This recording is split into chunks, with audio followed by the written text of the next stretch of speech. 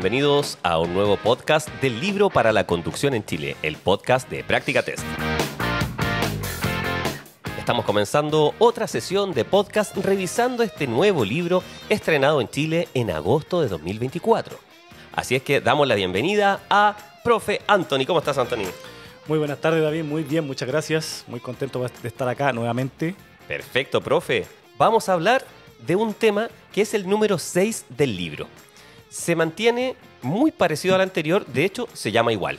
Comencemos por eso que es normas de circulación. Uno de los temas más extensos, uno de los más difíciles podría creer uno también, porque aquí es donde está la mayor parte de la normativa de tránsito. De hecho, el tema se podría llamar ley de tránsito, ¿cierto? Exacto. Está la mayor parte de la normativa de tránsito. Y, profe, vamos a comenzar de manera global para que todas las personas que están preparando su examen teórico de conducción reciban esta ayuda, preguntándonos cuánto ha cambiado este tema o si es que tiene contenidos en conflicto con el libro anterior para aquellas personas que no saben si les va a tocar las preguntas nuevas o las preguntas antiguas. Cuéntenos, profe, respecto a este tema un punto de vista general.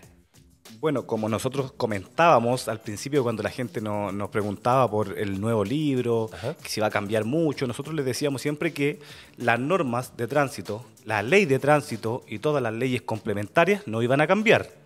Exacto, a menos que existiera una nueva ley. Claro, y como eso no iba a pasar, eh, que, no se, que no se tanto con el nuevo libro, les comentábamos nosotros, y justamente esta, este módulo, este, esta parte del libro, es de eso, de las normas de tránsito, las normas de circulación, la normativa y las leyes. Y eso no ha cambiado mucho, entonces no, no, hay, no hay cosa aquí que, que como dices que entren en conflicto. Claro, que entren en conflicto. Entonces, normas de circulación, uno de los temas más difíciles donde está la normativa de tránsito, casi no cambia del libro antiguo al libro nuevo, así que es una gran tranquilidad. Lo único es que hay que aprenderlo ya, y para eso vamos a comenzar a revisar este tema normas de circulación, que sí tiene algo nuevo, que no cambia el contenido en sí, el texto al menos, que son las imágenes. Y eso está mucho más didáctico, ¿cierto, profe? Así que vamos a empezar a revisar. Profe, cuéntanos primero la introducción de este tema, que habla sobre las normas de circulación, por supuesto, pero cómo entender cuáles son las más relevantes. Hay una jerarquía, ¿cierto? O sea, si me encuentro en una intersección con una señal pare, o si hay un semáforo, o si hubiera un carabinero, ¿qué es lo primero que debemos entender al respecto? Bueno, este tema dice, al principio, dice que lograr una buena convivencia vial requiere cumplir con las normas de circulación. Hasta conectado con la convivencia vial, mira. Exacto, entonces... Conocerlas, ¿cierto? Conocerlas y cumplirlas. Para ello es necesario reconocer y comprender el lenguaje asociado al tránsito. Perfecto. Este lenguaje puede expresarse de cuatro formas, dice acá. Las señales de carabineros, Bien. los semáforos, la señalización de tránsito, ya sean señales verticales o horizontales, o también conocidas como demarcaciones, y la regla del tránsito. ¿Cuál de todas prevalece sobre el resto? En este caso, las señales de los carabineros son las que prevalecen sobre las otras normas. Porque ahí está el criterio humano, ¿cierto? O sea, eh, el, tránsito en general van a estar las normas que ya hemos señalado, pero ¿qué ocurre cuando hay un recital? ¿Qué ocurre cuando tristemente ha, ha, sucedido un siniestro? ¿Cierto? Hay que aplicar criterio y ahí es necesario a veces hacer desvíos o cosas por el estilo, y por eso el criterio de carabineros va a ser prevalecer sobre el resto de las señales de tránsito. Entonces, cuando pensemos en el semáforo, rojo es detenerse, a menos que un carabinero me diga lo contrario. Verde es avanzar, a menos que un carabinero me diga lo contrario, ¿cierto? Exacto. Cuéntenos, profe, ¿qué señales existen de los carabineros? Eh, gestos con sus manos, lo que está en el libro, cómo responderíamos en el examen y después qué pasa en la realidad. Bueno, lo que está en el libro dice que carabinero visto de frente o de espalda significa detención. Ya, Obviamente un carabinero de tránsito que esté regulando el tránsito, no cualquier carabinero. Claro, porque si un carabinero se detiene en la vereda, yo no voy a parar a cada rato porque hay un carabinero. el carabinero de tránsito tiene su, típico chaleco reflectante, ¿cierto? Muchas veces los guantes también. Los guantes blancos. Entonces, obviamente, un carabinero en la calzada visto de frente o de espalda significa detención. Ya, es lo que dice el libro, ¿cierto? Lo que dice el libro. Y con eso respondemos al examen teórico. Carabinero con el brazo en alto indica advertencia. Ya quienes estén detenidos deben preparar para avanzar una vez que el carabinero se ponga de costado y quienes tengan la vía libre deben detenerse. Perfecto. ¿Ya? Y carabinero visto de costado significa avanzar. Si el carabinero está de perfil, por así decirlo, significa avanzar. Muy bien, eso es lo que está en el libro y cómo podemos responder el examen teórico. Exactamente. Ahora, llevado a la realidad, Si un carabinero se para en medio de la vía, ¿cierto? Y levanta los dos brazos Claro. y me hace gestos de que yo vaya hacia un lado, me detengo, por supuesto. Claro, es ¿cierto? que el- eh, en la realidad, como dices tú en el día a día, el carabinero va a hacer señales inequívocas para que tú no puedas decir, no, es que no lo vi o algo. Te va a levantar una mano para que te detengas y la otra para la orilla. y con la otra indica hacia A- dónde a tienes que estacionarte. Claro. Perfecto. Profe, vamos ahora a los semáforos. ¿Qué podemos decir de los semáforos? Que yo adelantaba un poquito el tema. Bueno, en los cruces con alto flujo vehicular, Ajá. ¿cierto? Se instalan este tipo de señales que son los semáforos. Ya, obviamente, se instalan estos para, porque ahí aumentan la seguridad de estos mismos cruces. Ya, pese que a estos buscan aportar una buena convivencia vial, el conocimiento de su significado o incumplimiento de sus señales convierte a estas intersecciones en zonas de riesgo. Ya, perfecto. ¿ya? Por la generación de siniestros de tránsito. Eso dice. Entonces dice que tenemos que conocer, obviamente reconocer y reconocer los distintos tipos de semáforos que existen en las vías, porque son varios tipos. Muy bien. Vamos por las luces y entender que no solo significan una palabra, ¿cierto? O sea, verde es avanzar, pero no es solo eso. ¿Qué ocurre con la luz verde? Cuéntanos. Bueno, la luz verde dice que indica el paso. Los vehículos que enfrentan pueden continuar en el mismo sentido o virar a menos que en el lugar haya alguna señal de tránsito que prohíba algún viraje. Ya, Aún teniendo luz verde, dice, no avances si he pasado el cruce, no tienes a lo menos 10 metros expeditos en tu pista de circulación. O sea, si al frente donde yo quiero llegar con mi vehículo hay un taco, dicho en forma simple, no debería avanzar aun cuando tenga verde. Exacto. ¿Por qué? ¿Qué podría ocurrir si yo Porque avanzo? Puedo quedar bloqueando el cruce. Eso tenemos Exacto. que evitarlo. Y Entonces, eso es ten- muy peligroso. Tengo que tener espacio suficiente hacia el otro lado de la intersección, al, al- al otro lado del cruce, terminando el cruce tengo que tener espacio suficiente. Y ese espacio suficiente, si me lo preguntan en el examen teórico, ¿de qué 10 espacio metros. estamos hablando? 10 metros, dice 10 la, la- metros. Eso no cambia. No cambia nada. Libro antiguo, libro nuevo, si usted está en una luz verde, debe confirmar que al otro lado tiene al menos unos 10 metros aproximados, ¿cierto? Uno se puede bajar y medir, ¿ya? Para poder cruzar esa intersección. Bien, profe. ¿Eso sobre la luz verde? Y también dice que, los, que los, las y los peatones que también enfrentan la luz verde tienen prioridad para cruzar. Ya, por Ya, ejemplo, si yo voy a tengo, enfrento la luz verde y voy a hacer algún viraje, el peatón y el ciclista en este caso tienen prioridad antes que, que yo. Todos los usuarios de los ciclos. Todos Podría ser también un scooter. ¿cierto? Sí. U otro, otro usuario de ciclo. Claro, bien, entonces, profe. si yo voy a virar, debo ceder el paso en este caso. Muy bien. Vamos a la luz roja. Cuéntenos de la luz roja. Bueno, ¿Qué la luz roja indica detención. Ya sabemos que si nos enfrentamos a la luz roja tenemos que detenernos antes de la línea de detención, ¿cierto? O la línea de detención adelantada y no deberán avanzar hasta que se encienda nuevamente la luz verde. Y eso puede cambiarse un carabinero me dijera lo contrario. O una carabinera. siempre y cuando en un un semáforo en rojo estuviera controlando el tránsito y me diga que avance. Claro, ¿cierto? la señal del carabinero prevalece sobre las demás señales, entonces en este caso, si un carabinero me está indicando que siga mi marcha, lo, lo, lo hago. Lo hago, perfecto. Profe, pero también ocurre algo que, que uno se da cuenta cuando está estudiando el libro para dar el examen, ¿cierto? Que a veces hay semáforos que tienen la luz roja de manera intermitente. ¿Qué significa eso? Bueno, la señal, la luz roja del semáforo intermitente indica ceda el paso. Ya. Obviamente este, este semáforo, cuando nos encontremos con este tipo de semáforo, va a ser especial porque no va a tener los tres colores, va a tener solamente la luz roja. Ah, Va perfecto. a tener solamente un semáforo de un, de un foquito Ajá. rojo y ese va a estar eh, parpadeando, ¿cierto? Muy bien. intermitente. Eso significa ceda el paso. Tenemos que tomarlo como un ceda el paso. Se ve muy poco acá en, hacia las Condes, he visto yo en la rotonda, se ve de repente está esa luz roja esa luz intermitente. roja intermitente. Ahora vamos a la luz más problemática del semáforo, que es la luz amarilla, ¿cierto? Porque aquí está el conflicto. ¿Es pase? ¿Es deténgase? ¿Qué es la luz amarilla, profe? Explíquenos. Bueno, la luz amarilla indica precaución o advertencia. O sea, no es ni pasar ni detenerse, ninguna de las dos. Claro, tal cual. Entonces yo tengo que detenerme si tengo espacio antes de entrar al cruce, yo me detengo. Ya, si ya estoy ingresé, ya ingresé al cruce, por ejemplo, estoy muy encima del cruce, continúo con precaución, obviamente. Uno tiene que tener criterio cuando está conduciendo, pero uno no alcanza a aplicar todo lo que se aprenda en el libro, ¿cierto? O sea, Claro, obvio. uno no va a poder hacer cálculos, sino que hace estimaciones. Pero saber, haber hecho estos cálculos para la prueba, ¿cierto? Para el examen, ayuda a que uno piense, ¿cierto? Y uno diga, no sé, un ejemplo, si analizáramos un caso en una intersección a 50 kilómetros por hora, si tengo dos metros, obviamente no me puedo detener, ¿cierto? Claro. detenerme de golpe puede ser muy peligroso para los vehículos que vienen detrás mío. Entonces, hay que estar, por eso hay que bajar la velocidad también en las intersecciones, con precaución. Eh, exacto, sí, pues nosotros con 50, eh, a 50 kilómetros por hora vamos a avanzar varios metros, ¿cierto? Reacción. Solo en reaccionar es cuando hacemos la multiplicación por 3, ¿cierto? Que en un Sí. segundo. Entonces uno dice 3 por 5, 15. Por lo menos voy a avanzar 15 metros. Claro, por lo menos, y la, Por la menos. distancia de frenado puede ser aún mayor, entonces si yo ya estoy muy encima del cruce, obviamente no voy a alcanzar a frenar y continúo. Por Perfecto. eso, como dices muy bien tú, que tenemos que bajar la velocidad en, lo- en las intersecciones.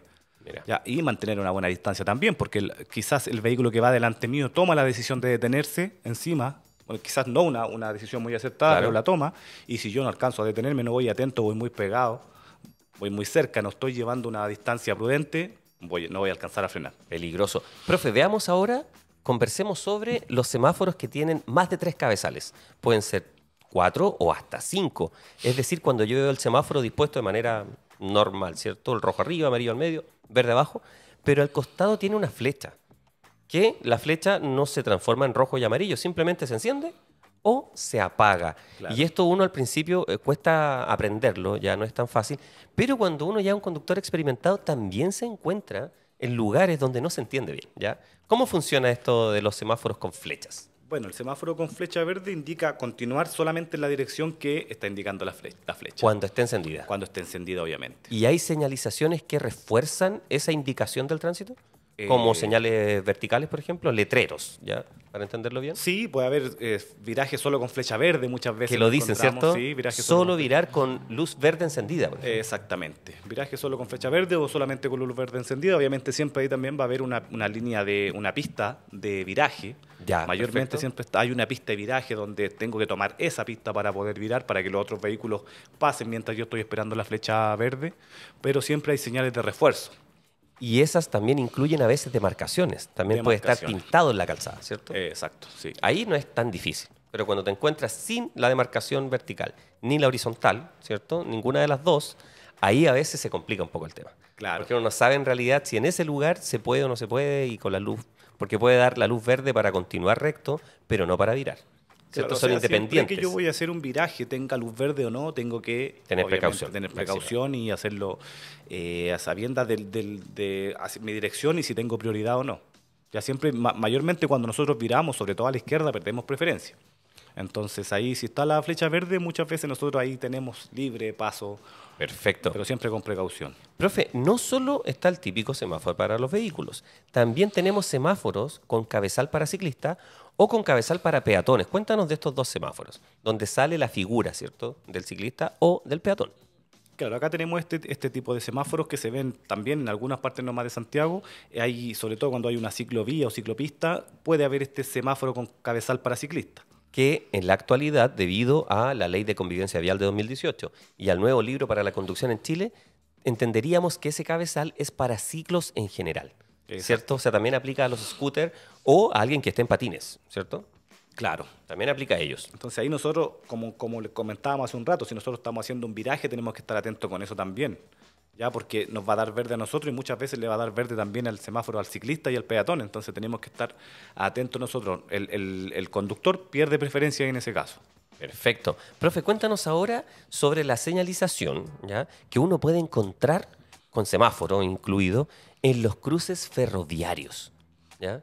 Que me gusta mucho la foto que aparece ahora en el libro, pero le invito a todos que lo revisen, porque es muy similar a la realidad. ¿Cierto? Claro. Son múltiples señales las que hay ahí. Claro, ahí también nos podemos encontrar con un tipo de semáforo, ¿Ya? ya que tiene solamente dos luces, la roja y la blanca. Roja y blanca. ¿Y qué significa? Roja y blanca. Luz, ro- luz roja indica que se aproxima un tren y la luz blanca indica que no viene el tren. Ya también tenemos Perfecto. la señal que indica que viene un cruce eh, ferroviario un- o un cruce ferrocarril, que es la cruz de San Andrés. Perfecto. Ya que que es una cruz señal amarilla. de advertencia, una señal de advertencia Ya. que advierte el cruce del ferrocarril y también tenemos la señal pare que tenemos que parar porque nosotros no podemos confiarnos del semáforo del, del cruce. ¿no? Yo, no, yo, obviamente si dice que el, eh, flecha eh, luz blanca, yo también tengo que mirar. No o sea, se puede confiar ciegamente siempre en eso. en un cruce ferroviario nos vamos a encontrar con un pare. Mayormente No con un al paso, ¿cierto? No, con un pare. Con un pare. O sea, ahí debemos detener la marcha sí o sí. Claro, podemos Por tener precaución. barreras también, pero si no hay barrera, tampoco, no- como les digo, no hay que confiarse de, lo, de los semáforos del, del cruce ferroviario. Recordemos que si llega a fallar, el, el tren no puede detenerse. Perfecto. Necesita mucho espacio, sabemos que necesita entre 800 metros a un kilómetro para detenerse el tren que viaja a 100 kilómetros por hora. Eso podría ser una pregunta examen. Sí, Qué buen dato, profe. Qué bueno, porque uno se aprende la distancia de reacción, de detención. Porfa, repite eso sobre el tren para que todos lo puedan escuchar. ¿Qué- ¿Cuántos metros necesita un tren para detenerse? Claro, un tren que viaja entre och- 80 y 100 kilómetros por hora necesita entre 800 y un kilómetro para detenerse. Entre Para 800 detenerse. metros y un kilómetro para lograr detenerse. Entonces Imagínate, tenemos... mil metros, entre 800 y mil metros para detenerse. Exacto. Nosotros en vehículos hablamos de 30 metros, hacemos un cálculo como mucho más pequeño. Claro, porque la fuerza que trae y lo que pesa el tren es nada comparado con el vehículo, ¿cierto? Claro, O obviamente. sea, es algo mucho, muy superior. Hay otros semáforos, profe, que son para el transporte público, que son muy extraños, tienen dos puntitos rojos, es muy raro. Cuéntanos sobre ello porque en algún momento, con o sin intención, pero pensemos sin intención, alguien se puede equivocar en estas avenidas gigantes de la capital, por ejemplo, y quedar en una vía exclusiva, que podría ser producto de una multa, pero si ya quedaste ahí, ¿qué, qué hago con estas luces? Claro, ahí nos podemos encontrar con la luz roja también, ¿Ya? ya, y la luz verde. Que están en- dispuestas como puntos. como un puntito, ¿cierto? Ojalá no llegar ahí. Obvio que no, obvio que no. No llegar a esa pista, a esa vía, porque se- es una vía exclusiva. Son más, más- esas se encuentran más que nada en los, en los corredores. Más que en vía exclusiva, en los corredores de En los corredores los exclusivos, ¿cierto? Todo el día, ¿no? porque las vías exclusivas mayormente son vías dispuestas para el transporte público en cierto horario. Perfecto. Este tipo de semáforos los vamos a encontrar más que nada en corredores, como aquí en Avenida Grecia, por ejemplo, que, Que normalmente están reforzados con color rojo, ¿cierto? Muchos de ellos. Claro, ¿no? Y son, es una, una vía Cerrados. aparte, una vía cerrada. Igual, obviamente, no, igual uno puede, podría entrar, si uno va muy despistado, de repente podría Claro. seguir y entrar, pero este tipo de semáforos lo vamos a encontrar ahí, en ese lugar, en corredores, que es, obviamente esos son todo el día. Y no tiene amarillo, verde No y rojo. amarillo, claro. Que significan avanzar y detenerse. Y existen otro, otro tipo de luces, ¿cierto? Que se pueden poner temporalmente cuando está el tránsito cerrado, por ejemplo, que aparecen en pórticos, que puede ser flecha o cruz. Eso lo podemos ¿Qué encontrar en, en autopista, en túneles. Ya, estas eh, señales. Yo creo que especialmente en túneles es más común, ¿cierto? Muy común. Sí, en, en autopista igual. También, Igual se pueden encontrar. perfecto. Cuando hay una pista cerrada, por ejemplo, en túneles sobre todo, ¿cierto? Una pista cerrada va a haber una X roja. Perfecto. En esta pista va a estar la X que va, va a indicar que esta pista está cerrada, puede ser por algún arreglo, por algún vehículo en- siniestrado, no siniestrado o algo. Y la flecha eh, indica que la, la pista está habilitada, que se puede continuar. Perfecto. Eso es respecto al semáforo. Vamos Sí. ahora a las señales de tránsito. Cuéntanos primero la generalidad de las señales para poder estudiarlas. ¿Cómo estudio las señales de tránsito para aprenderlas? Si yo no me las sé, no las conozco. Y estoy preparando mi examen teórico de conducción.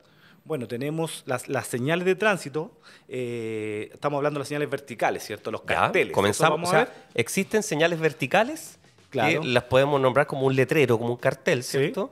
Que están fijas en el piso, ¿ya? En una- un lugar eh, que los maestros le llaman un pollo, ¿cierto? Este Sí. del cemento.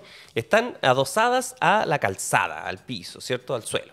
Entonces son señales verticales tipo letreros, porque después vamos a hablar de otras que son horizontales, Las- que son las que están pintadas en la calzada Las demarcaciones. las demarcaciones. Vamos primero con las señales verticales, todas las señales tipo letrero. ¿Cómo las podemos aprender, profe? Bueno, estas señales se, se caracterizan, se dividen en tres grupos. Ya, eso es lo primero. Ya, eso es lo Para primero. Estas estudiarlas puedo- se dividen en tres grupos. ¿ya? En tres grupos. Tenemos las señales reglamentarias, Ya, perfecto. ¿ya? las señales de advertencia y las señales de información o informativas. O sea, tienen una intensidad en lo que ordenan, lo- desde lo más grave a lo menos grave respecto a lo que informan. Exacto. ¿Cierto? Un ejemplo de cada una, profe. Bueno, la señal reglamentaria obviamente tiene la finalidad de notificar a las personas usuarias de la vía acerca de prioridades, prohibiciones, restricciones, obligaciones y autorizaciones. O sea, muy estricto, como la luz roja al semáforo, ¿cierto? Exactamente. Esta No señal- entrar, por ejemplo. Por ejemplo, en prioridades tenemos el típico, una de las más conocidas, ¿cierto? El par, el se da el paso. Ya, perfecto. ¿ya? Prohibiciones, por ejemplo, no entrar, Ya, esa es no, una entrar, no prohibición. estacionar. Tenemos también, Y son en general de color rojo, ¿cierto? Claro, O sí. sea, las relacionamos con ello. ro- ro- eh, claro, orla roja y la, la leyenda dentro es negra. Perfecto. letras negras. Ya tenemos de restricción también, por ejemplo, un alto máximo, un peso máximo, ya a- a, eh, velocidad máxima. Tenemos también de obligaciones, de la obligación de seguir una pista, por ejemplo, y de autorizaciones también, como permitido estacionar y todo ese tipo de Hay una señal reglamentaria, profe, muy especial, que no está en color rojo, que dice fin restricción. Y aparecen dos vehículos tachados por unas líneas. Claro. ¿Qué Esa- significa esa ese fin restricción? Que desde, desde donde está eh, instalada esta señal se puede Ajá. comenzar ya, está, eh, eh, se termina la restricción a no adelantar. Ah, perfecto. Pone término a una, a, un- a un- a una, a una ordenanza, por así decirlo. Ya, perfecto. Que Ponete- anteriormente en la misma vía estaba prohibido adelantar Porque yo me encontré tal vez con esa señal y más adelante dice fin restricción, podría ya adelantar, ¿cierto? Exacto. Perfecto. ¿Cuáles son las señales de advertencia de peligro, profe? Estas señales que podemos relacionar con la luz amarilla del semáforo. Bueno, estas tienen como propósito advertir la existencia de peligros o riesgos permanentes. Perfecto. ¿ya? Entonces, estas tienen más, mayormente son, eh, son una forma de rombo, Ajá. ¿cierto? Son de color amarillo y su símbolo es negro. Muy características. Ya, la y que- la mayoría son amarillas. La mayoría son amarillas y el rombo mayormente también, excepto la de la Cruz de San Andrés, que el- advierte la- el cruce ferroviario. Mira. ¿Cuáles son un ejemplo de una señal de advertencia de peligro? Tenemos la más común que, que se ve más, yo le tengo que decir cuál es la que más vemos, es la de resalto. Es la de resalto. Sí, que Yo pensaría que- en otra icónica, aparte de resalto o lomo de toro, la de zona escolar. Claro, esa es como la, la más, eh, una de las más importantes, obviamente. ¿cierto? Pero no sé si será la más común, pero sí es la más importante. O sea, tenemos que saberla sí o sí, que zona escolar tenemos que bajar la velocidad, por eso es tan importante. Mira. ¿Y a cuánto tengo que bajar la velocidad? Zona de curva, o sea, tenemos un Pero la zona escolar, ¿a cuánto tengo que bajar la velocidad? A 30 kilómetros. A por 30, no lo olviden, ¿cierto? Vamos reforzando eso para todos los que están aprendiendo, recién están estudiando para su examen teórico de conducción. Entonces, señales reglamentarias las puedo relacionar con el color rojo del semáforo, ¿cierto? Son estrictas y muchas de ellas son de color rojo. Luego, señales de advertencia de peligro, color amarillo en general, donde está la señal de zona escolar, etcétera, etcétera. Y luego tenemos las señales informativas. Cuéntenos, profe, las señales informativas.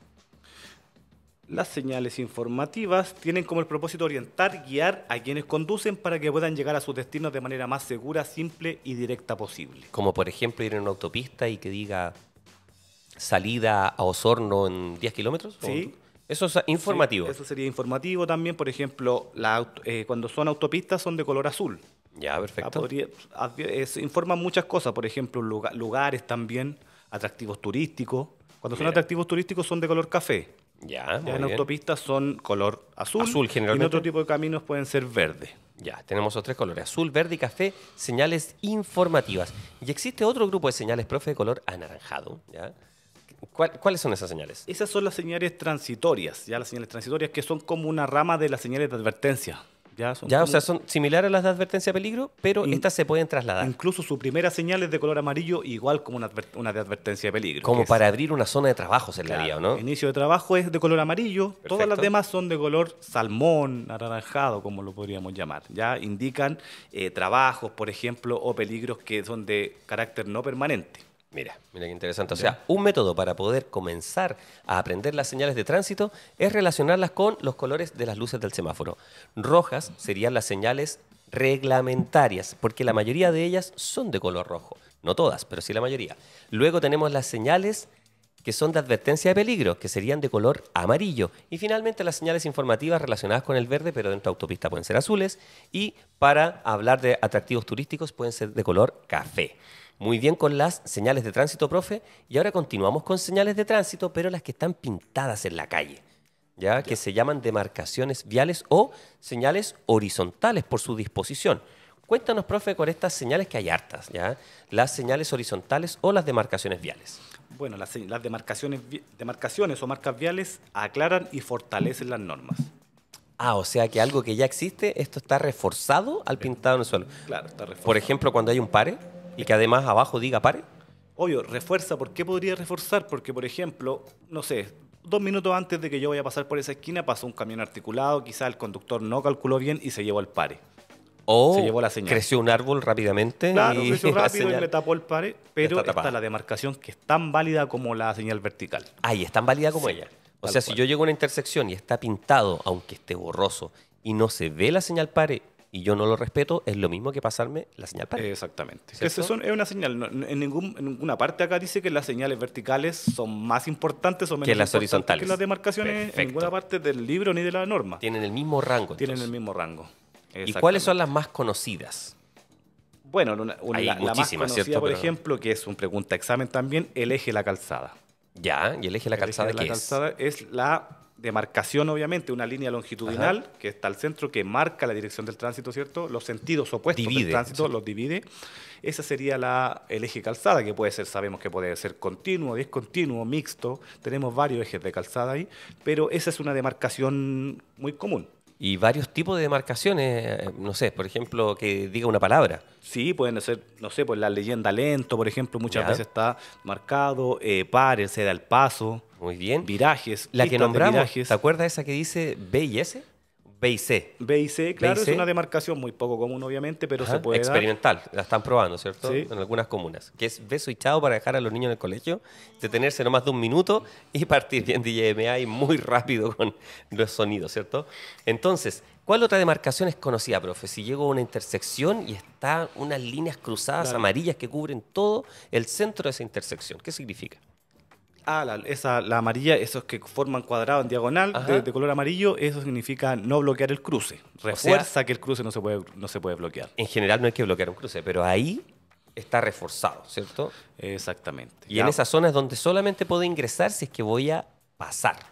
No es para detenerse, ¿cierto? Claro, por ejemplo, las, las pistas de vehículos para de emergencia, pistas exclusivas, muchas veces están demarcadas solamente con demarca- o sea, marcadas solamente con demarcaciones viales. Solamente No. con la señal horizontal. Exactamente. O sea, pintadas, Entonces, ¿cierto? Por eso que es tan importante, o sea, no le voy a decir a un, a un- si me sacan una multa por ir en una vía exclusiva, no es que no vi el letrero, pero Exacto. está la demarcación también, entonces son tan válidas como la, la otra. Y uno de los icónicos, el más importante, el famoso paso de cebra. Paso de Que cebra. antes decíamos paso peatonal y el libro ahora dice paso de cebra, así que podemos decir técnicamente paso de cebra, ¿cierto? Claro, en cruces no semaforizados puede ser, un puede ser de forma como una ce- cebra, Ajá. ¿cierto? Es, pero ya en cruces semaforizados mayormente son dos líneas eh, paralelas eh, horizontales. Sin necesidad de que estén estas otras líneas que parecen líneas de tren, claro, ¿cierto? no, no, no, no es Ya. necesario eso. Y también se- seguiría siendo un paso un peatonal. cruce, un cruce peatonal, obviamente, pero al ser semaforizado, ahí el peatón solamente tiene el, tiene el derecho preferente de paso cuando el, el- el semáforo tiene el semáforo verde para pasar. El siguiente conflicto, profe, te pongo el desafío, que la mayoría de las personas que están aprendiendo a conducir se lo preguntan y nos preguntan también, ¿qué hago si voy avanzando en mi vehículo? Me encuentro con un paso de cebra y un peatón parado en la esquina y dudo si es que quiere cruzar o no. ¿Qué debería hacer con mi vehículo? Detenerme. Debería detenerme, ¿cierto? Claro, o sea, tratar de hacer contacto visual con el peatón.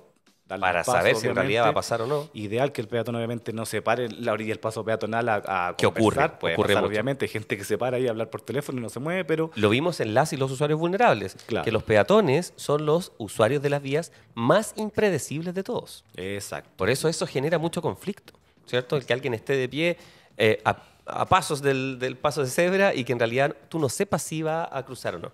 Es Claro. un gran problema, ¿cierto? Pero si el peatón está en la orilla, por ejemplo, marcando su intención de cruzar, tenemos que detenernos. Perfecto.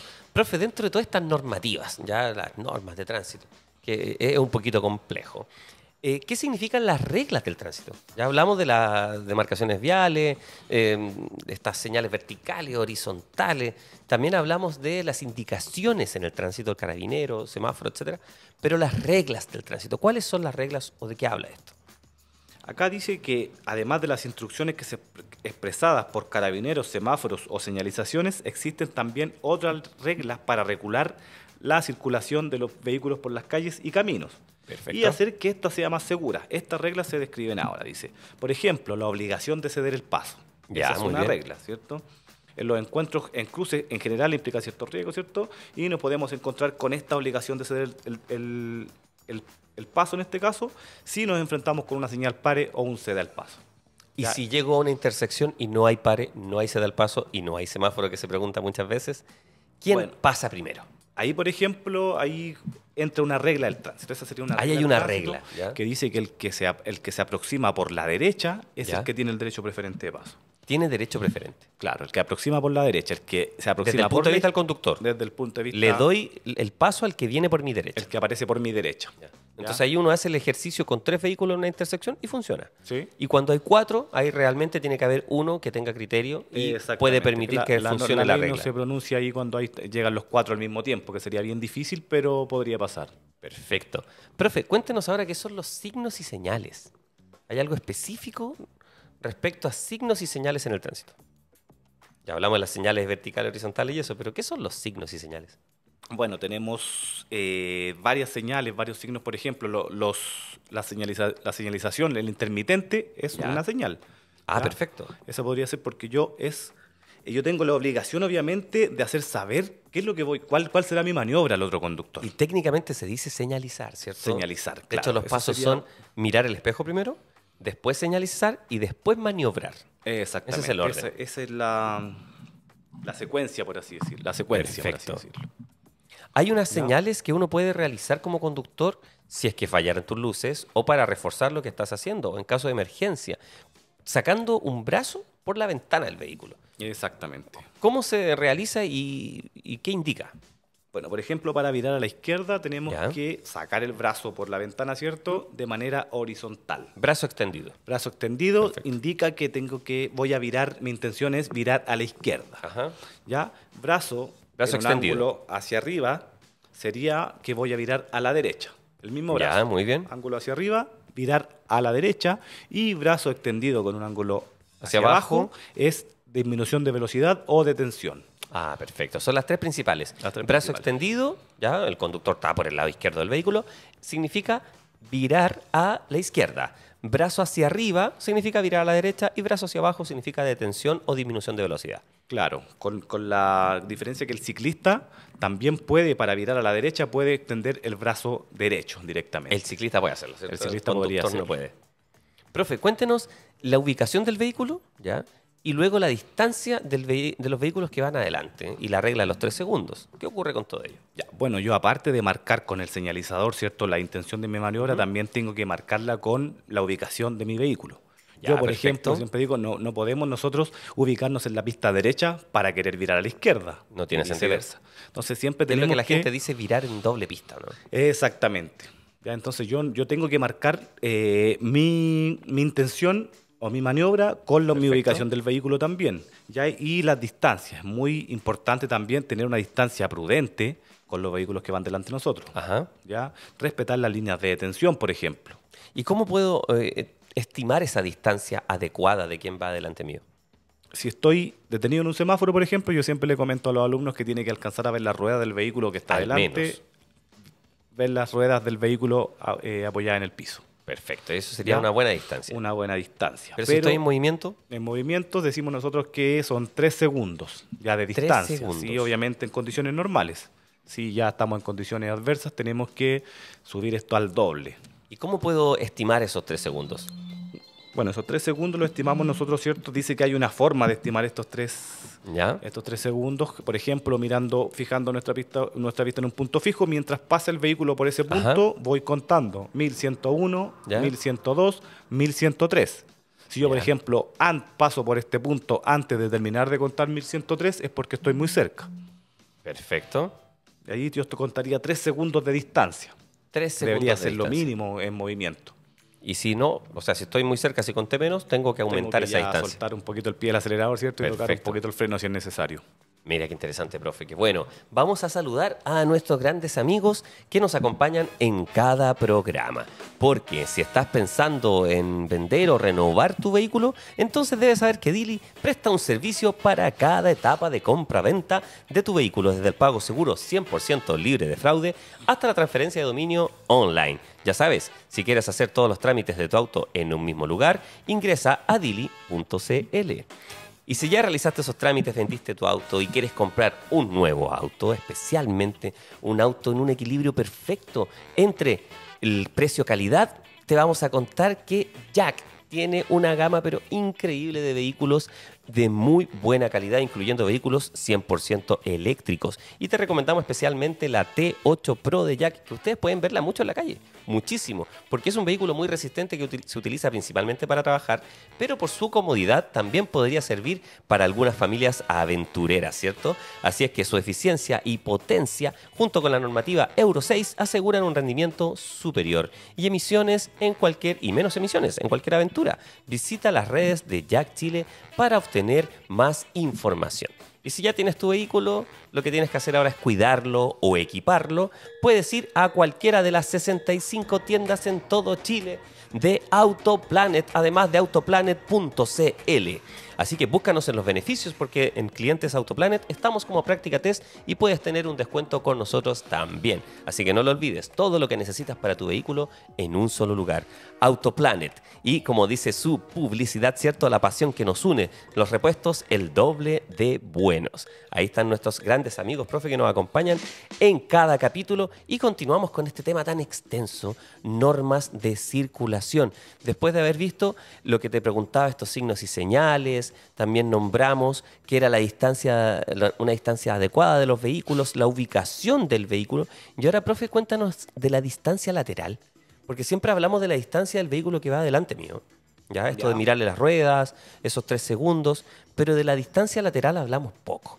¿Qué ocurre con la distancia lateral de los vehículos? ¿Qué es la que me sirve, por ejemplo, cuando adelanto o sobrepaso? Claro. La distancia lateral. Bueno, nosotros la distancia lateral siempre decimos que, sobre todo cuando los vehículos están detenidos, tenemos que dejar por lo menos el ancho de una puerta para los vehículos detenidos. Claro, ya, muy bien. Por lo menos eh, el ancho de una puerta, ¿cierto? Y dice acá que los cruces con vehículos de adelantamiento, por lo que dice el libro, implican siempre riesgos. El riesgo mayor cuando la visibilidad es reducida, como en curvas, en cambios de rasante, en la oscuridad y cuando hay niebla. Por ello, ubica tu vehículo de forma segura en la pista por posibles adelantamientos y cruces con otros. Perfecto, profe siempre hay que mantenerse lo más posible a la derecha. Yo, por ejemplo, es lo que siempre recomiendo. Si tú vas tomando una dentro curva... de tu pista. Dentro de tu pista, lo más posible a la derecha. Ah, en curva, sobre todo, tratar, en vías de doble sentido del tránsito, ¿cierto? Tratar de alejarse el eje calzada. No ir pegado al centro. No ir pegado al centro, porque si tú tomas la curva, obviamente en una curva tú pierdes visión hacia el otro lado. O sea, no sabes quién viene. Puede venir un camión, por ejemplo, un vehículo grande, una micro, un bus y estos, estos vehículos tienden a, salirse un poquito, a pegarse ya. Lo mínimo que pueden hacer es apegarse mucho al eje de calzada. Porque son rectos, ¿cierto? y son, largos. Entonces, exactamente. Eh, eh, a veces no da el, ancho o el grado o la inclinación de la curva, ¿cierto? entonces el radio de la curva. Si nosotros nos apegamos más encima al eje de calzada, o sea, estamos como esperando que nos topen, pues, topar con el vehículo. Entonces, nosotros, ¿qué podemos hacer en vehículos particulares? Acercarnos lo más posible a la Hacia derecha. la derecha. Perfecto, profe. Ahora cuéntenos sobre el uso correcto de las pistas de circulación. ¿Cómo es el uso correcto? ¿A qué se, qué se, refiere esto? Ya, bueno, el uso correcto de la pista dice que hay que situarse completamente dentro de la pista a fin de no obstaculizar el tránsito por la otra. Perfecto. Circule siempre por la mitad derecha de la calzada. ¿Ya? En ocasiones puede circular en la pista izquierda cuando requieras traspasar el eje de la calzada para adelantar, por ejemplo, eh, al transitar por la mitad derecha de la calzada esté impedido por los trabajos y otros siniestros que alteren la circulación normal. O sea, ¿qué quiere decir esto? Que nosotros siempre tenemos que buscar nuestra derecha a la medida que sea posible. Ya si hay vehículos, por ejemplo, estacionados, si hay trabajo, obviamente, yo tengo que apegarme un poco más a la, izquierda, pero siempre buscando un poco la derecha. Sobre todo en, pistas doble sentido del tránsito. Yo no puedo, en, en, una pista doble sentido del tránsito, por ejemplo, en una calle doble sentido del tránsito, yo no puedo irme directamente por la izquierda. Así como si nada, obviamente siempre buscando un poco la derecha porque puede aparecer un vehículo en contra del tránsito en cualquier momento que él va a venir con prioridad. Profe, ¿qué podemos decir respecto al viraje en U? Todo lo que sea útil para preparar tu examen teórico de conducción respecto al viraje en U. ¿Qué es lo que podemos decir? Cuéntanos. Bueno, el viraje nu, obviamente, mayormente perdemos preferencia igual al hacer el viraje nu. El viraje nu es prácticamente un viraje hacia la izquierda. Es hacia la izquierda, ¿cierto? Entonces. ¿Tiene preferencia a los demás vehículos cuando yo comienzo con mi viraje? exactamente. Entonces siempre pierdo preferencia al realizar el viraje nu, que el viraje nu es más que nada cuando yo hago una maniobra que dejo el, quiero el vehículo en 180 grados. Quedo al otro sentido del tránsito que llevaba, por así decirlo. Muy bien. ¿Ya? Así que eso les podría decir yo, obviamente, tenemos que calcular bien nuestro viraje en U, saber que los vehículos que vienen por la otra pista mayormente van a tener la preferencia, así que siempre con mucha precaución señalizar y tener el espacio suficiente. Viraje en U. Otra cosa muy importante, profe, aparte de los virajes en U, las rotondas cómo circular en las rotondas, que es muy difícil cuando uno está, bueno, preparando su examen, responder preguntas sobre esto, y además quienes están haciendo un curso, eh, practicar esto, cuando se encuentran con una rotonda. Es muy difícil entrar a las rotondas. ¿Cuáles son las reglas de las rotondas? ¿Qué podemos informar respecto a Mayormente en la rotonda nosotros perdemos el derecho preferente de paso. El que viene dentro de la rotonda tiene, viene con preferencia. ¿Cierto? Eso es, principal. El que viene dentro de la rotonda tiene la preferencia y si voy a ingresar, pierdo preferencia. Entonces, antes de ingresar a una rotonda, tengo que dar preferencia a quienes ya están dentro de la rotonda circulando. Eso es lo primero. Si yo voy a salir por la primera salida, debería tomar la, la- la pista derecha. Ajá. Ya si voy a quizás salir por la, una pista más, por una salida más lejana o casi la última, tomo la pista izquierda. Que se irse más al centro de esta Claro, rotonda. más al centro en este ¿Y caso. todas las rotondas tienen dos pistas? Eh, no, no todas No, hay no. rotondas de una rotondas sola una pista y ahí no es problema, ¿cierto? Hay mini rotondas también. y También, que tienen pequeñas. una islita pequeñita y es, es simple. Ya, perfecto. Ya. Sí, porque hay muchas que tienen una plaza al medio. Sí. Hay otras que tienen, como tú dices, una cosa muy pequeña. Profe, vamos ahora a las pistas especiales. Cuéntanos sobre las pistas especiales. Bueno, tenemos pistas reservadas. Esas son pistas que son reservadas obviamente para algunos tipos de transporte. Perfecto. Obviamente que privilegian el uso, en este caso, de los servicios de locomoción colectiva, por ejemplo, le asignan las pistas exclusivas. ¿ya? Ya, que es una pista especial. es una pista especial. Entonces, no debemos ingresar a ellas a menos que se encuentre permitido, obviamente, y solamente para realizar un viraje. ¿Ya? Perfecto. Yo si voy a realizar un viraje puedo utilizarla, pero no más de, una cuadra, por así decirlo, media cuadra. ¿Qué otro tipo de pista especial existe? Tenemos pistas especiales para ciclistas también, que son las ciclovías, que obviamente no pueden ser utilizadas por vehículos, por automóviles, por ningún motivo, Pero ni sí por, por otros ciclos. Por otros, por otros Como un scooter, sí. Pero no una motocicleta, Ya, perfecto. Ya. O sea, en una ciclovía puede ir una bicicleta, puede ir un scooter, pero no una moto. no una moto. Por más que sea eléctrica. ¿no? Exactamente. Perfecto. Ya Otra tenemos pista también, especial. bueno, las pistas o vías con tránsito reversible, Muy bien. ya que es pistas que cambian su sentido de tránsito según el horario del día. Ya, y eso que está, eh, está informado en un letrero, una señal, ¿cierto? Claro, una señal informativa mayormente está es de color verde, mayormente va a Yo he visto en muchas calles que son gigantes esas señales, como para aclarar esto. Exactamente. Muy grandes. Bueno, un, un ejemplo acá, por ejemplo, aquí en Santiago, Andrés Bello, que es una calle que tiene como cinco pistas, creo. Entonces, esa, hay momentos que va todo hacia, hacia el oriente, a cierto horario viene todo hacia el poniente, entonces esa sería una pista Reversible. de reversible. Tenemos vías de uso exclusivo, la que estábamos hablando Ya, hace un rato, que son más. que obviamente que favorecen el transporte público pasajero, también suelen destinarse a vías exclusivas para estos durante horas de mayor flujo vehicular. No Perfecto. podemos circular por estas vías, obviamente, en el lugar, en el caso en el que no esté permitido. Ya yo no puedo Muy circular. Y ahí tenemos las pistas de emergencia también. Ya que ¿Para qué son esas pistas de emergencia? bueno, esas, las pistas de emergencia las habilitan en la autopista o caminos, por ejemplo, con pendiente en caso de que algún vehículo tiene, le falle el sistema de freno, por ejemplo. Es cuando vas bajando, ¿cierto? No Eh, sé. No, no siempre. ¿No necesariamente? No, Ah, no necesariamente. Hay pistas, por ejemplo, en la autopista hacia el norte, eh, hacia, no sé si, eh, cuando uno va a Viña, no sé si estáis fijados, cuando Ya. uno va a Viña hay una que es, es como una pista en subida, Ajá. es como de, de un poco de tierra, así, no, no está como el asfalto así bien, que es en caso de que el vehículo, algún vehículo, sobre todo los camiones, tiene alguna falla en los frenos, ellos se vayan contra ahí como- y como es en subida, los va a frenar. Exacto, sí. A mí no, se me vino otra a- a- a- al recuerdo que es los Andes. Los Andes o ya cruzando Argentina, siempre uno en el camino internacional se puede encontrar justamente con estas pistas especiales que son pistas de emergencia y que es una pista lateral, ¿cierto? Sí. Muchas veces eh, ripiada, Claro, ya, ripiada, ripiada, ya con piedras y que son inclinadas como que suben para que un camión, eh, especialmente los camioneros, cuando tienen problemas con los frenos, puedan salir aquí en caso de emergencia. Profe, este tema es súper extenso. ¿Cuáles son los consejos que tú darías a alguien que tiene que estudiar para el examen teórico de conducción respecto a este tema, de manera global? ¿Qué consejos darías tú para poder aprenderse o abordar este tema tan gigante? Porque es un poco inabordable, ¿cierto? Eh, bueno, este tema habría que darle énfasis. Siempre yo le, le comento a los alumnos que este es un tema donde pueden aparecer muchas preguntas, por algo es el tema más largo. Ya Perfecto. leerlo harto. Bueno, nosotros siempre recomendamos eh, eh, realizar eh, todo tipo de ejercicios de aprendizaje, leer, hay gente que lee, Perfecto. audiolibro, eh, realizar test también, que también sirve bastante, y que le den énfasis a este tema, que es un tema que es- tiene mucha, mucha, mucha información, muchas preguntas, porque es como el corazón al final de la ley de tránsito. ¿Qué es lo que se estudiaba antes de que existiera el libro antiguo, ya que era el libro Nuevo Conductor, el libro para la conducción en Chile? Siempre, en todos los países, para poder sacar licencia de conducir, donde se tenga que dar un examen teórico, se ha estudiado esto, porque en el fondo es un poco de normativa de tránsito y mecánica básica para entender cómo funciona el vehículo. O sea, este tema es muy relevante y la buena noticia es que casi no ha cambiado del libro antiguo al libro nuevo, sino que ahora tiene herramientas visuales mucho más amigables. Así que los invitamos a todos a estudiar este tema en profundidad. Si pueden, lean el libro, escuchen los podcasts de práctica test, revisen las clases grabadas, todos los que tienen cuenta premium, si no la tienes accede rápidamente a una cuenta premium porque de verdad Práctica Test te ayuda muchísimo. Es una plataforma desarrollada por múltiples especialistas de distintos rubros, ¿ya?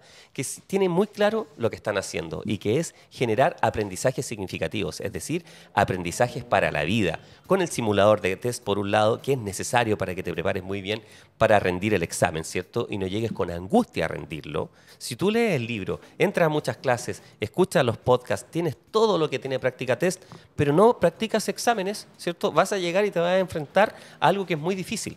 Entonces, ¿es necesario realizar test? Sí es necesario. ¿Es necesario leer el libro? A quien le sirva mucho, por supuesto, en digital o en físico, como le parezca más cómodo.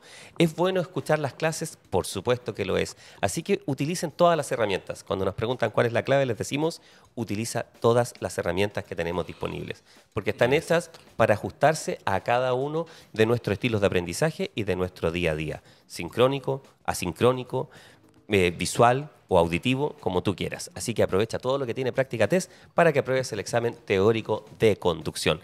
Nos despedimos, profe, y nos encontraremos en el próximo capítulo con conducción en circunstancias especiales, el próximo tema. Hasta la próxima, profe Antonio. Hasta la próxima.